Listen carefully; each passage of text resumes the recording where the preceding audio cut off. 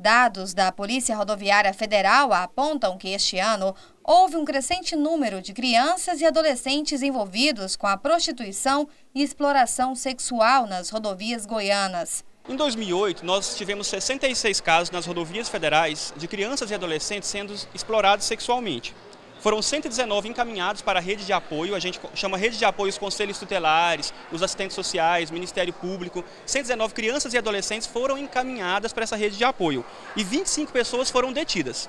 Nesse ano, até ontem, nós tivemos 45 casos, com 73 crianças e adolescentes sendo encaminhadas para essa rede de apoio e 15 pessoas detidas. Para discutir esta situação, a Federação Goiana dos Caminhoneiros, FEGOCAN, pediu apoio da Comissão da Criança e Adolescente para promover a audiência pública na Assembleia Legislativa.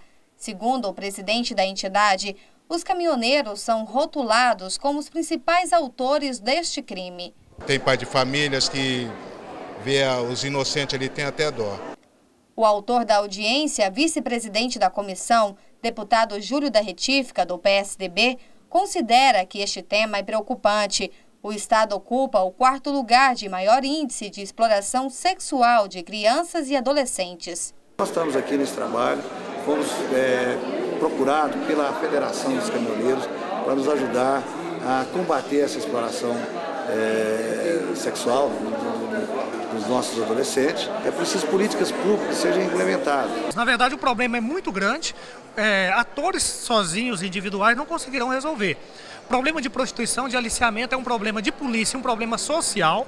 Então, o ideal é a união, tanto dos órgãos repressivos como os órgãos protetivos, no sentido de criar mecanismos para detectar o problema, tanto punir os infratores, como criar é, programas sociais de inclusão dessas pessoas encontradas é, desenvolvendo essas atividades. O relator da CPI da pedofilia no Senado Federal, Demóstenes Torres, do Democratas, também participou da audiência e argumentou que somente a instalação de CPIs não é o bastante diante este quadro. É preciso ter dois tipos de combate. A grande maioria dos caminhoneiros são contra é, a pedofilia e a exploração sexual e ajudam no combate. E tem uma minoria mais expressiva também, né, que pratica.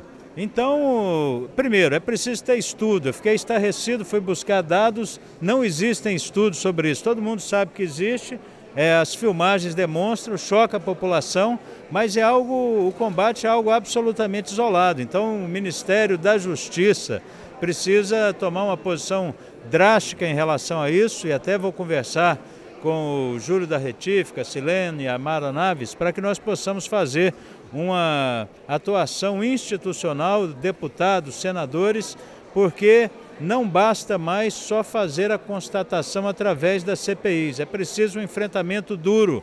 O Ministério Público, especialmente em Goiás, tem tido uma posição satisfatória, mas é preciso inclusive mapear, saber onde tem, não é?